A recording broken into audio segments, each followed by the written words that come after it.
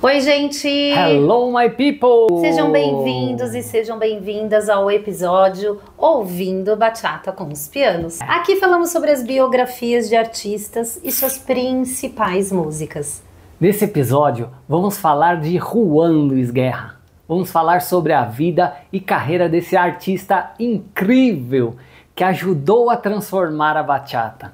Afinal, esse mês É aniversário É. dele. É isso mesmo. Juan Luiz Guerra é conhecido por elevar a bachata a novos níveis.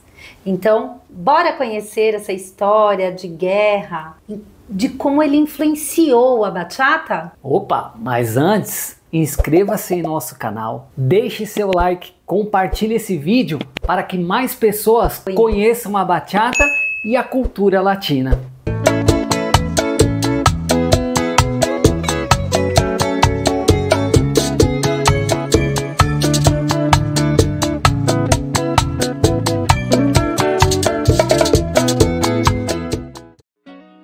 Sou Laura Piano. Eu sou o Rodrigo Piano, Somos pioneiros especializados na bachata no Brasil. Juan Luiz Guerra Seijas nasceu em 7 de junho de 1957, em Santo Domingo, na República Dominicana. Nasceu numa família de classe média. É filho de Gilberto Guerra e Olga Seijas, irmão caçula de três, e é casado com Nora Vega desde 1983. Então, peraí. Além de nascer em junho, são de três irmãos. É, tá é vendo? muita coincidência. Aí, ó. Pois é. E tiveram dois filhos, Paulina e Jean Gabriel. Guerra é músico, cantor, compositor, produtor musical e O cinematográfico. cara é tudo. Seu interesse pela música e a guitarra, violão, começou ainda criança. Cresceu ouvindo artistas como El Gran Combo, de Porto Rico, e Benny Moré. Ele admirava grandes artistas da música, tanto espanhóis quanto cubanos, como Pablo Milanés, Paco Ibáñez, Juan Manuel Serrat e Noel Nicola. Guerra também se dedicava à leitura e aos estudos de poemas de autores dominicanos, como Fábio Fialo e Valentim Giró. E daí faz sentido ser um cantor romântico. Sim. Mas ainda jovem, ele estudou um ano de filosofia e letras na Universidade de Santo Domingo. Mas percebeu que não era a praia dele não. Então resolveu estudar no Conservatório Nacional de Música. Foi em 1977 que fez sua primeira apresentação, Dos, ao lado de Luiz Dias, bachateiro, ex-integrante do grupo Convite, e Luiz Tomás Oviedo. E aí surge a oportunidade. Juan Luiz Guerra foi selecionado para estudar na Berklee College of Music em Boston, nos Estados Unidos, onde se formou em composição de jazz em 1982. Uau. E essa mesma escola, em 2009, deu o título de doutorado honorário por suas realizações, influências na música e contribuição à cultura dominicana. Uau! Agora vamos voltar um pouquinho. Em 1982, o ano que ele concluiu seu curso na Berkeley, ele voltou para a República Dominicana e começou a trabalhar como guitarrista de artistas locais. Além disso, ele produzia jingles para publicidades televisivas. Durante os seus trabalhos, ele conheceu os músicos Maridália Hernandes, Mariela Mercado e Roger Zayas Bazan e propôs formar uma banda tropical com os temas como merengue e bachata. E aí formaram o grupo Juan Luiz Guerra e 440. Ei. E assim lançou seu primeiro álbum, Soplando, 1984. As músicas são merengues com influência do jazz. A combinação resultou em uma melodia suave e dançante. É, mas infelizmente não teve muito sucesso não. As vendas foram baixíssimas. Mas tinha alguém de olho. A Warner Music, gravadora musical, relançou o álbum em 1991, porém com um outro nome, El Original 4.40. E hoje é um disco respeitadíssimo, minha gente. E mais, havia um produtor dominicano de olho no Juan Luiz Guerra, que, que é Bevenido Rodrigues.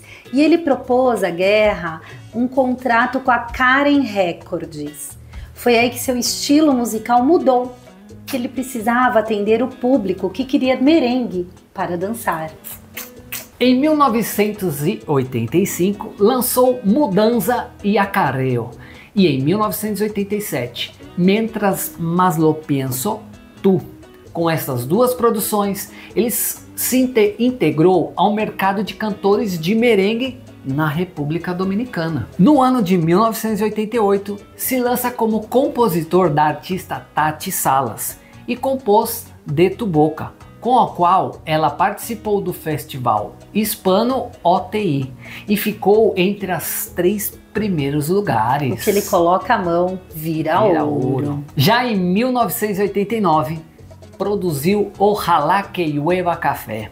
E os temas eram assim, mais sociais, mais românticas, né? Na verdade, ele incluiu os dois temas, né? Sim. né? Sociais e românticos nesse álbum. Exato. Mas foi exatamente nesse momento que alguns integrantes da banda deixaram o grupo e Guerra assumiu o comando. E com esse disco, marcou o início da sua projeção internacional. As músicas Visa para um Sonho e Uma del Calao atingem os primeiros lugares de emissoras do seu país e do continente. Mas foi somente com o álbum Bachata Rosa, em 1990, que Guerra apresentou a bachata para o mundo. Ah. O álbum Bachata Rosa foi considerado seu trabalho mais bem sucedido comercialmente. O disco vendeu mais de 9 milhões de cópias.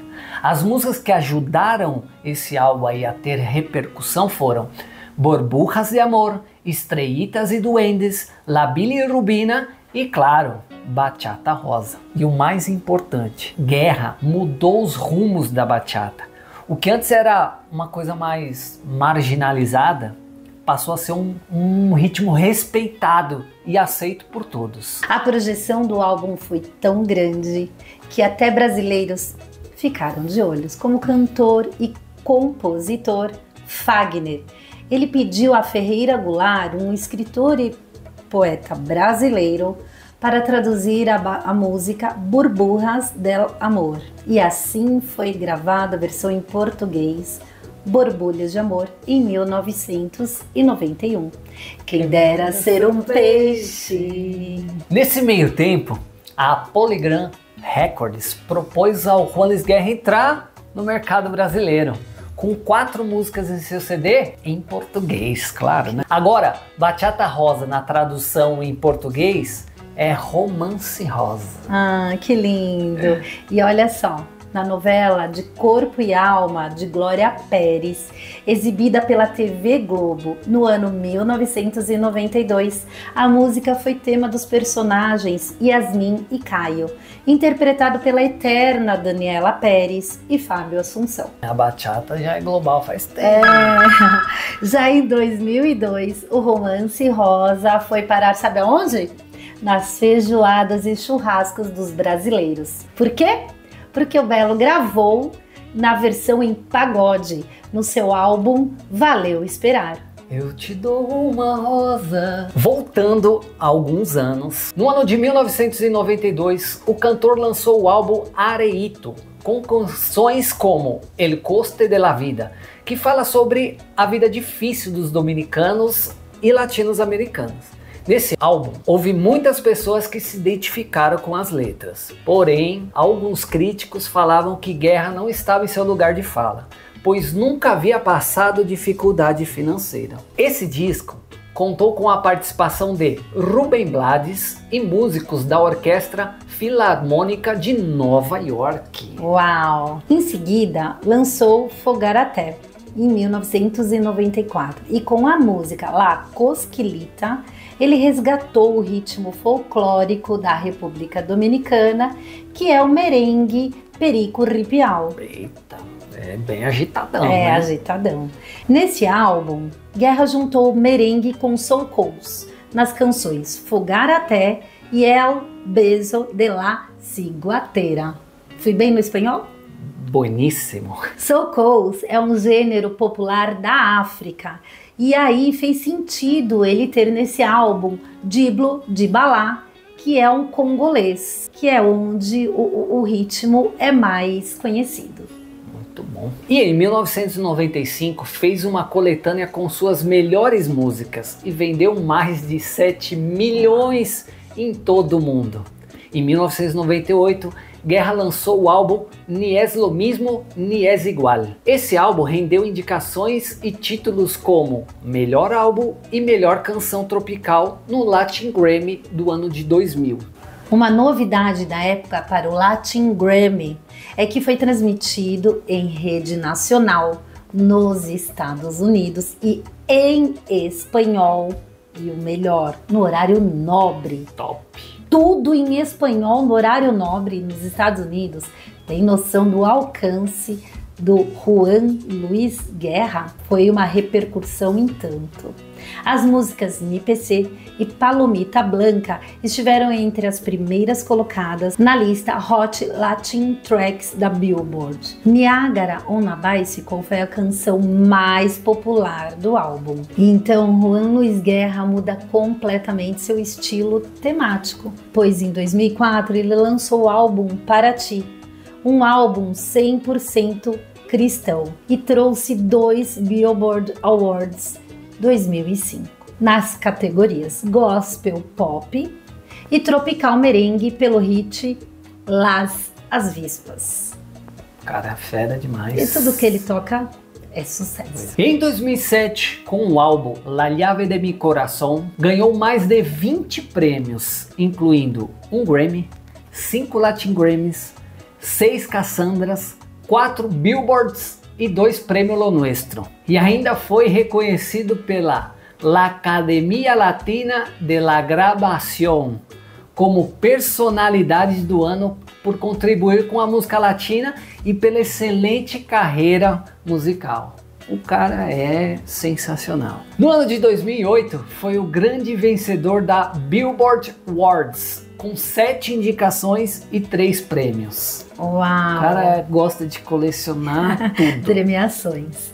Em 8 de junho de 2010, ele lançou o álbum A Som de Guerra. O álbum contém sucessos como La Guacua, La Calle, com Juanes, e Bachata em Fukuoka. La bachata em Fukuoka. O primeiro single desta nova produção alcançou a posição número 1 um nas paradas Hot Latin Tracks, Tropical Songs e Latin Pop Airplay Songs da Billboard. Este álbum contém a música Frio Frio, que foi produzida em 1991, porém foi em 2013 que fez parte do show ao vivo na República Dominicana e contou com a participação de Romeu Santos. Santos. Claro que foi sucesso na rádio, nos principais mercados latinos. Vou aproveitar esse feat do Guerra e Romeu Santos para falar sobre outra música que estão juntos. Carmin. Inclusive, é o tema da nossa coreografia desse ano. Ah, é verdade. Esse feat aí, sucesso. Sensacional. Inquieto, Guerra lançou seu primeiro single, Tus Besos, em 2014. E sua produção musical, Todo Tiene Su Hora, ele recebeu disco de ouro, platina e diamante. E mais, indicações ao Latin Grammy, das quais ganhou três delas. Melhor canção tropical, Tus Besos, melhor álbum tropical e o prêmio máximo, o melhor álbum do ano. Uau. O cara é terrível. Seu álbum com o nome literal, lançado em 2019, conta com o contagiante hit Kit Pum. Ah, se pum, kit pum, kit pum. É. Nele trouxe novos sons para a bachata, como o uso de instrumentos de sopro característicos na salsa e merengue. Em dezembro de 2020, em meio à pandemia global, sua produção Privé veio à tona. Um trabalho intimista e em formato reduzido, onde revê alguns de seus êxitos em tempos de jazz. Daí vem duas músicas novas e diga-se de passagem, belíssimas. belíssimas. Nossa, tem uma delas que eu Donde Nascem Tus Besos e Pambiche de Novia. Em 2021 chega a o mais recente trabalho entre Mar e Palmeiras, filmado ao vivo na praia de Miches leste da República Dominicana. Sensacional. Essa gravação ao vivo foi dirigida por seu filho Jean Guerra para a rede HBO. Entre Mar e Palmeiras é uma resenha de seus maiores sucessos e contou com sua banda 440. Recordar é viver. Recordar é viver. Está aí um cara que é super versátil na arte, né? Isso porque este ano em 2024 ele lançou seu projeto mais recente e inovador, o filme Capitã Avispa. O filme foi inspirado na música Las Avispas, do seu álbum Cristão, e escrito e produzido por ele, a animação foi lançada em março desse ano. A direção conta nada mais, nada menos que seu filho, Jean Gabriel Guerra, junto com Jonathan Melendez. Juan Luiz Guerra fez a voz do pai do Capitão Avispa. E por ser compositor, a música é cantadas e composta por ele, interpretada por outras vozes. Ah, e a animação parece tão linda, é... mas não está no Brasil. Não tem não português, vem. né? Não. Na verdade, não vem para o Brasil, pelo ah, que eu vi. Ah, entendi. Bom, vamos torcer. A influência de Juan Luiz Guerra vai além da música. Ele consegue impactar a cultura latina ao longo de sua carreira de sucesso, colaborou com grandes artistas como Alejandro Sanz, Mili Quezada, Henrique Iglesias, Maná, entre outros. Nossa! E mais. Ele é conhecido por seu envolvimento em causas sociais e projetos beneficentes. Criou a Fundação Juan Luiz Guerra, que ajuda crianças e idosos carentes lá na República Dominicana. Seu lado caridoso e fraternal vai além da sua fundação. Em 18 de abril de 2010, Juan Luiz Guerra organizou um concerto beneficente, uma canção de esperança para o Haiti, por ocasião do terremoto, né, que destruiu todo o país. E o objetivo era a construção de um hospital infantil. Cara, é monstro. Monstro. Nesse concerto beneficente, Guerra reuniu grandes nomes das músicas latinas no mesmo palco. Agora vamos falar sobre outras curiosidades brasileirísticas. Uau, conta aí. Em 2007, Guerra participou da Cidade do Samba, ao lado de Ivete Sangalo. Olha só, Sambista. o cara tá lá no samba. E tem mais nossa celebridade do mundo das danças de salão, Carlinhos de Jesus, Mestre. tive a honra de coreografar e colocar sua companhia para dançar com ele num palco. Que isso!